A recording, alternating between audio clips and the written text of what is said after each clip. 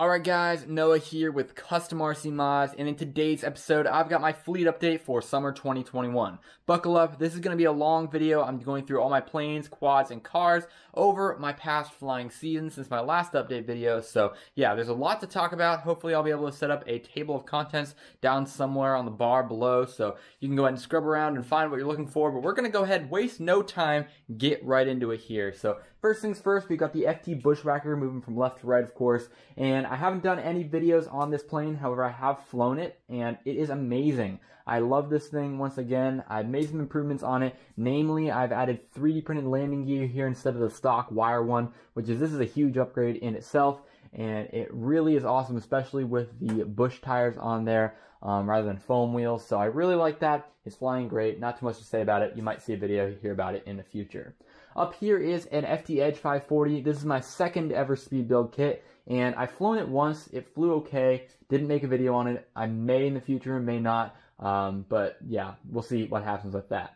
Moving on to my FT Goblin, I actually just flew that tonight. Lost a vertical stabilizer, um, but it still flies. Just have to do some minor repairs, so nothing too much to say about that. And down the ladder, we got the FT Bloody Baron. My rates are super low on it, but I did bring it to Flite Fest, and it flew well. Um, I just need to go ahead and play with my setup on there a little bit. It's super fast, and sometimes I just feel like I don't have enough control of the airplane, which is obviously really important. Up here is the FT Bloody Wonder, which really needs a rebuild. This one is a Flite Test combat airplane, of course, and it's got a lot of damage from the water that was there, all the rain and the dew. Uh, so I need to go ahead and rebuild it, or at the very least get new vertical stabilizers on there because it's missing those right now. Um, but other than that, the Bloody Baron loves the new power system and everything's there. I just need to rebuild it if I choose.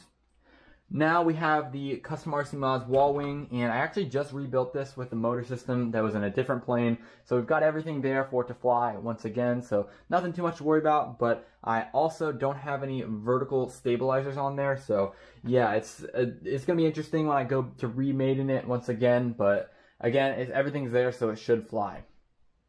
Up here, I got my FT Explorer. This thing's flying great. I brought it to FPV Fest, did touch and goes all over Edgewater Air Park, and hit some cool gaps. Unfortunately, I nailed a picnic table at my local flying field when I was trying to go through a shelter, so yeah, unfortunately, we got a little bit of wrinklage on there, but it's still flying amazing. Best Explorer that I've ever had.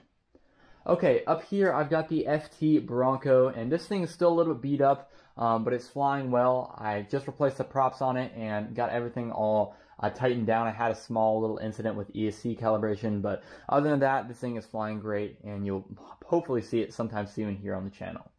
Now, up there is the FT Simple Soar and despite the fact that I folded the wings on it and the fuselage has been broken into three pieces on several occasions, it's actually flying really, really good. Um, I put the power system off the Bloody Baron when that got upgraded onto there, so no more uh, hand propping or motor start issues, so we are all good to go with that airplane.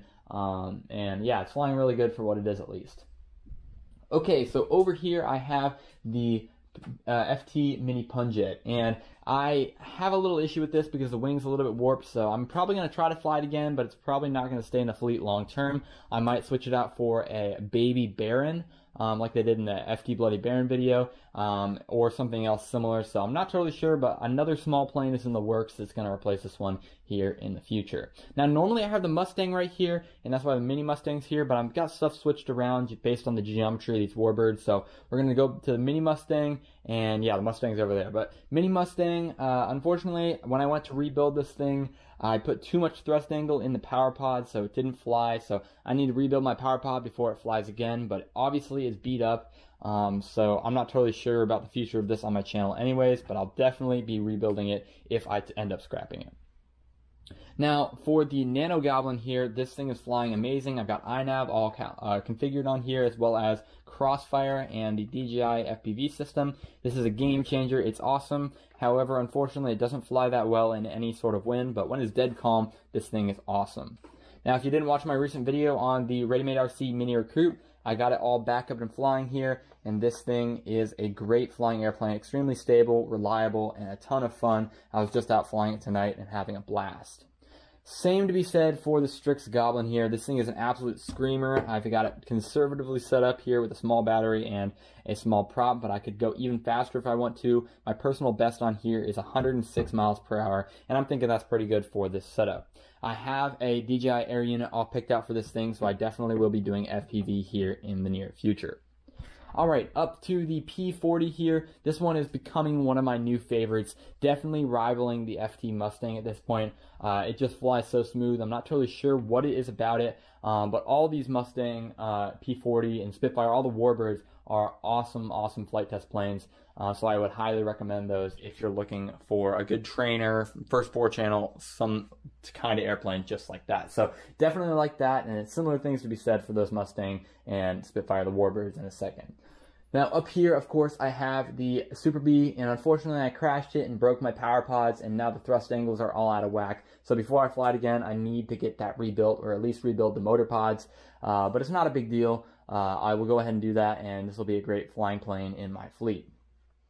Over here I have the FT Mini Arrow. I just replaced the motor that I burnt out at FPV Fest, and I'm now running Crossfire in it for extra reliability. This is definitely one of the best foam board planes I've ever built. However, it's starting to take a toll um, on the, you know, I guess it's starting to disintegrate is what I'm trying to say, and that's taking a toll on the flying experience. So I did make some new uh, vertical stabilizers that are also already beat up. Um, I'm not totally sure. It's already a year and a half old, so we'll kind of see what happens with this in the future.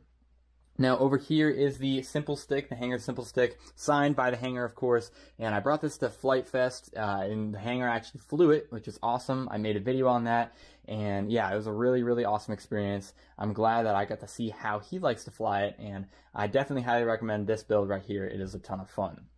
Now, the micros are unchanged from the last update. I haven't done anything with them, haven't even flown them, um, and that's kind of just standard because honestly, I'm not overly interested in that area of the hobby, but I could gut the Sport Cub S here very soon and put it in some sort of airframe that's custom built rather than uh, buying like 30 bucks worth of replacement parts to get that fuselage all back together. So I'm not totally sure, but either way, you know, both of these kind of have their issues and I'm not really looking to spend too much money on them. Now, over here, of course, we got the two Warbirds. Mustang is in great shape, mid flying well. So is the Spitfire. I did a review on the Spitfire. I was going to do reviews on more planes, um, but both of these, all three of these, matter of factly, are flying excellent. So I can highly recommend them. And I was going to do a comparison video, but I kind of ran out of time. I'm moving into school very soon, so uh, I, I can't really get that video filmed, unfortunately. Now, up there behind the Spitfire, I have the Versawing, which is also a victim of Flite Fest carnage. And yeah, I just flew it in the rain and the dew, and it just started disintegrating. But I also did get to use the lights inside for the first time during the night flight at Flite Fest, so I really did enjoy that. And overall, it's just a great plane. I, I've definitely had a good time flying it, and I would highly recommend it. Up here is the FT Simple Storch, and this thing has been great as well. I've really enjoyed it, especially from a, a speed build perspective. Uh, this is my very first one I ever did. It's had some crashes. I've bent the landing gear a few times, but overall, it's not a big deal. It still flies amazingly, um, and I'm really, really happy with it. It's definitely a good trainer, given the FT Simple Scout a run for its money. Uh, and it, again, if you watch the flight video I did on it, it kind of combines the Simple Soar and the Simple Cub into a really, really awesome trainer style aircraft. So nothing bad to report on it at the moment, um, but it's doing really good right now. Now the FT Mini Vector I actually just repaired after we beat it up and I switched the prop on there. It's a 50-50 prop rather than the 6x35 tri uh, bi-blade, so this one's a tri-blade on here. And it needs a new motor desperately. The one on here is screaming and crying for help every single time I fly it. So I don't know. Hopefully I don't catch it on fire again like I did with my last Vector. But we'll see. So over here is my FT Simple Scout, and unfortunately I'm having some motor cogging and sag issues on this. I'm not sure if my it's my ESC or my motor, but maybe the current draws. Something is causing this to sag out, and I've tried different props, stuff like that. I think my motor shaft's also a little bent, so that's definitely not helping as well. I think I just need a new electronic system, and I might end up just rebuilding this the next chance I get. Now, over here is a mini scout, which actually got mid-aired by my buddy Joey, and yeah, he did that with his quad, but it still kept flying, and it's flying well, actually, um, but it's not looking the best, so I do have some repairs to do on it uh, for the future, but again, it still flies like that never happened, so I'm not totally sure, but again, either way, uh, I really like that plane for flying in the backyard.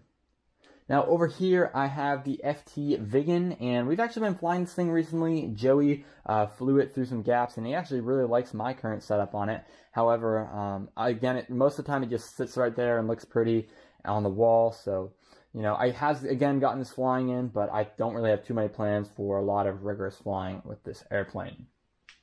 Up here is the Sea Otter and I haven't flown this since the Maiden. I just don't really have a large need to, honestly. I'm not totally sure why. It's just not something that's been ever, ever really been too intriguing for me, especially after I had some initial frustrations on the Maiden. So, not a big deal. I hope we'll fly it someday, but it's not really in the near future. Now this plane up here is an EDO model, EDO model. I don't know, it's some European Banggood. I'm not totally sure what brand it is, but it's EPS and it's a Cessna 185 Skywagon. And I got it for free from my buddy Joey. Thank you very much. It flies excellent. I had to do some uh, mods to it and fix it up a little bit to get it to fly, but it's an awesome, awesome airplane and I've really had a good time flying with it. Hopefully I'll be able to get a video out with it soon, um, but check out my Instagram if you want to see more on this thing because it's truly a unique airplane. Now over here is the FT22. I haven't flown it since I did the uh, past flight video on it. Um, I guess it's okay. I beat the nose up a little bit, but I'm overly just not satisfied with this airplane as a whole. Um, built like four or five of them, and every single one of them has crashed after a little bit because it's just not consistent. So that's kind of what I'm dealing with it with with it, but I'm not overly motivated to keep flying it, especially when I have 10 other aircraft I have in line in front of it to fly. So either way, not a big deal. Uh, hopefully we'll get around to it, but for now it's just sitting up there on the wall. Right here is a, a Volantex RC Phoenix V2 uh, sailplane, and I got this one for free at FPV Fest. The dude was just going to throw it away. I'm not sure if it's going to fly again in the near future. The fuselage and all that is all good. However, you can see we're missing a good chunk of the wing here, and the wings are like 60 or 70 bucks. So I'm not sure if I'm going to go foam board or if I'm going to just order a new wing or something like that. You can see my control surfaces are all messed up and that just dropped behind there. But either way, it's a fun plane. I'm definitely either going to just scrap it for electronics or get it back up and flying. It's not just going to sit here, hopefully, but who knows? I'll do something to it, and I'm glad I got it for free. Now, over here is the Strix Stratosurfer, and if you paid attention to any of my recent videos, you know that this is definitely my new favorite airplane in the fleet. It just flies so good. It's an amazing FPV platform, can do touch and goes everywhere, and it just, I don't know, uh, I, I, don't really want to say repetitive things about it, uh, but it's such a versatile plane, um, and it flies completely on rails um, throughout the entire flying experience. So I like that about it. Unfortunately, these are really hard to get right now, so if you're trying to pick up one for yourself, you may have trouble with it. I got it used. I've done some videos on it. Go ahead and check those out if you want to know more about it. But I also do have this DJI air unit for it in this pod, so it's a, another nose, and it just routes right into the XT60 lead uh, via pass-through to power, power that air unit. I've got some more videos that I might post in the future, but for now, uh, yeah, I really like that Stratosurfer, and it's coming with me to school, so really excited for that.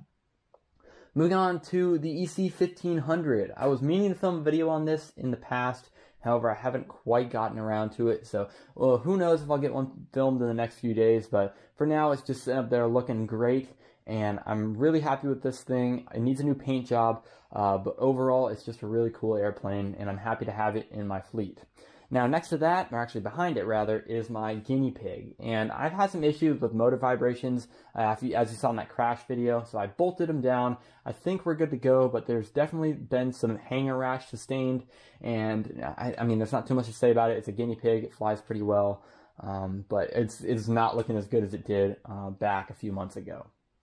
Now right here is my mini guinea that I actually built last week, and I had some frustrations getting this to fly. I think it's just a little bit too tail heavy, um, but it flies well for the first few minutes while it's flying, and then something happens and it stall spins out and goes straight into the ground, hence the nose being all beat up. But I'm gonna go ahead and leave it be for a minute, and hopefully I'll be able to re um, you know connect with it later and fly it again. But I'm not totally sure. I think that we're just gonna go ahead and roll with that for now.